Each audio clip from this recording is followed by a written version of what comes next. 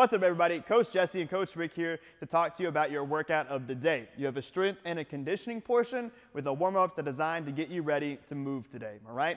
Make sure you like and subscribe on our YouTube channel, share these with your friends, and let's get everyone involved and have a blast together. For your warm up, we're gonna start with two rounds of 30 seconds of jumping jacks, followed by 30 seconds of arm haulers, and then 30 seconds of lunges. When you've completed both rounds of those three movements, you have one round of 30 seconds of burpees, a 30 second plank, and then a 30 seconds of just air squats, all right? So let's break these things down. We'll start with the jumping jacks, just keeping our arms nice and long. If we can, clap up top, clap behind the back, and get those shoulders moving through a full range of motion, all right? Next, you have arm haulers. So we're gonna drop down here and go to the Superman position or the arch position. We're gonna take our hands from the top to the glutes, just touching the thumbs on the glutes and then reaching overhead, moving through that nice range of motion there. When you finish 30 seconds of arm haulers, we're gonna go into 30 seconds of lunges, moving with control, all right, taking a big step either forward or backwards, up to you, whichever you feel comfortable doing, all right? Just making sure the knee stays over the ankle, nice vertical shin, and we're staying upright with our big proud chest. So you got two rounds of those three movements, then we're gonna go into one round of 30 seconds of burpees, so full range of motion burpees here, chest and thighs touch the floor with a big jump and a clap over top, all right? When you're done, 30 seconds of burpees, straight into 30 second plank in that top of the push-up position here, all right? So crunching those abs, keeping the butt nice and tight, squeezing the quads, keeping your shoulders stacked over your wrist. If you want to challenge yourself, even in the warm-up, you could push, come up on your toes, drive the shoulders further than the wrist, and stay there for the plank, all right? So 30 second plank, and then you got 30 seconds of just air squats, getting those hips moving, getting the chest nice and proud, getting the hips below the knee crease, staying on the heels, rocking out with 30 seconds of air squats.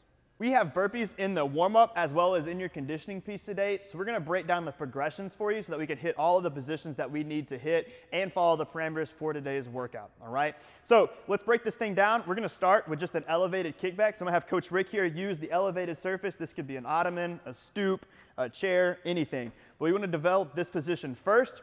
So shoulders stacked over the wrist, we're kicking back to a plank and then fast, snappy hips, getting to that athletic position there, landing with your flat feet so that you could jump if we were doing a burpee, all right? So if you're rocking out with the elevator surface, let's find something a little closer to the floor. You could use a dumbbell, if you have a plate, anything that works, a stool would work. But we're doing the same exact movement, shoulders stacked over the wrist, kicking back to a plank. And as long as we can land in that athletic position, you're dominating that uh, movement there with the elevated kickback. And we can move to the floor. All right, so this would be the next position that we want to hit. Again, just the same exact movement, fast, snappy hips, to the balls of the feet so that we could jump when we get to our full burpee. And that would be the next progression, would be going straight to the floor, chest and thighs touch, and a big jump overhead with a clap if we can. Boom.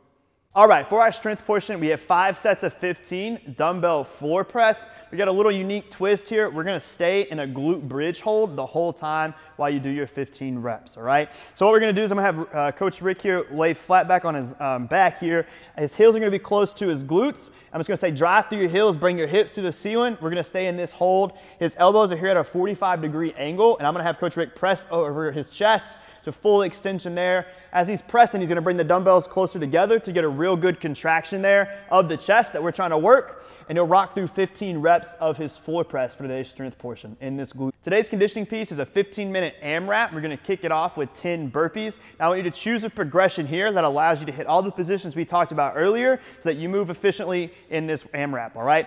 As soon as you're done with your 10 burpees, we're gonna go to 15 sit-ups, all right? So we're gonna have Coach Rick here.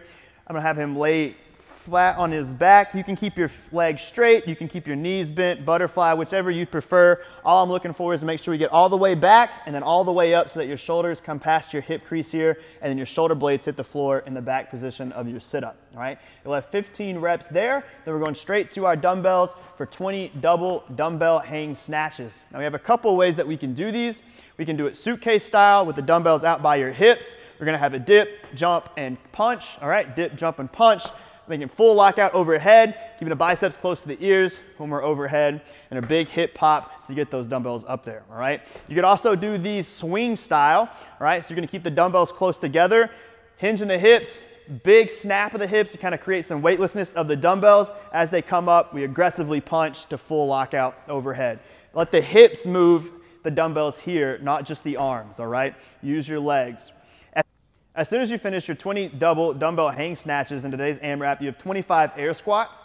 On these, I want your positions to determine your intensity. So as long as you're hitting all the positions, you'll be ready to rock and roll and go as fast as you want. Now remember our points of performance for the air squat that we covered in the warm-up are gonna be keeping your heels flat on the floor, a big proud chest, and getting our butt below your knee crease, all right? As long as you're hitting all those positions, you can go as fast as you want.